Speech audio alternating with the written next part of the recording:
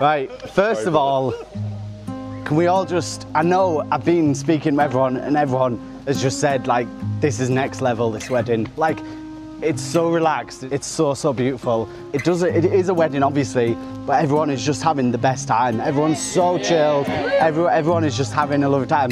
And I can't stress the amount of hours that Natalie and Liam have put into this.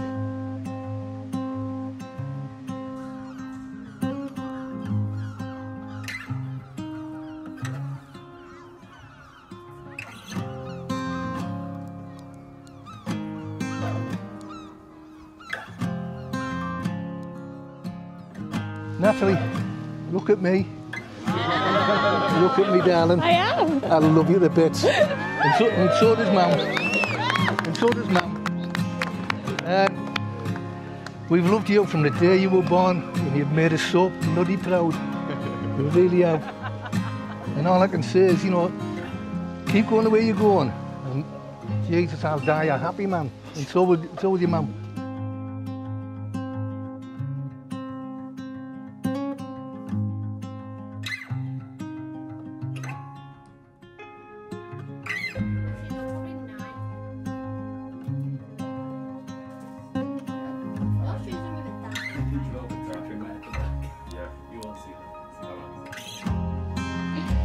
Natalie, you are my best friend, my soulmate, my teacher, and my inspiration.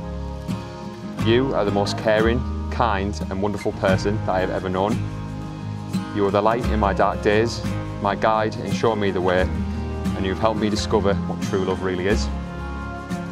You are the centre of my universe, and in choosing me, you have given me a life that I could never have imagined, a life with true purpose and meaning. These are just some of the reasons why I love you. If I tried to name them all, we could be here forever. Whether together or apart, I promise to always love you for all that you are with all that I am. I promise to continue to make you laugh, smile and seek out adventure with you by my side. I promise to carry on being the best father that I can be so that our children are loved and supported and grow up to be as brilliant as you are. Finally, when death do us part, I promise that our love will carry on forever and always.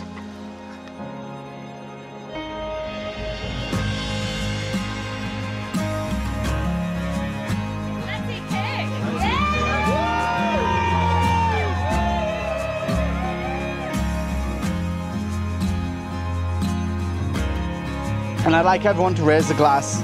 The weight of the world is love.